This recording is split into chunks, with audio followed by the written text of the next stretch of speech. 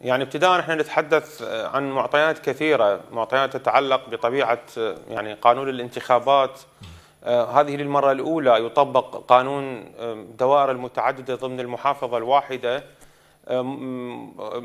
قضايا لوجستية وفنية تتعلق بطبيعة التصويت، طبيعة الاقتراع، الإجراءات التقنية آه، والفنية، أنا أعتقد مجلس المفوضين الحالي والمفوضية الحالية تحملت حقيقة عبء كبير آه، في هذه المرحلة حتى تهيئ الأمور وفق هذا النسق اللي ظهرت به. قد يكون الإرباك الوحيد اللي حصل بصراحة هو الإعلان يعني موضوع يعني فقرة في القانون الانتخابات تؤكد على انه الإعلان يجب أن يكون إعلان النتائج يجب أن يكون خلال 24 ساعة. هذا السقف الزمني هو اللي أربك المفوضية وخلاها آه، تعلن النتيجه النتائج الأولية دون استكمال باقي صناديق الاقتراع الأخرى وبالتالي ظهرت النتائج مشوهة وصار اللغط اللي كنا نتذكره آه، في تلك الفترة.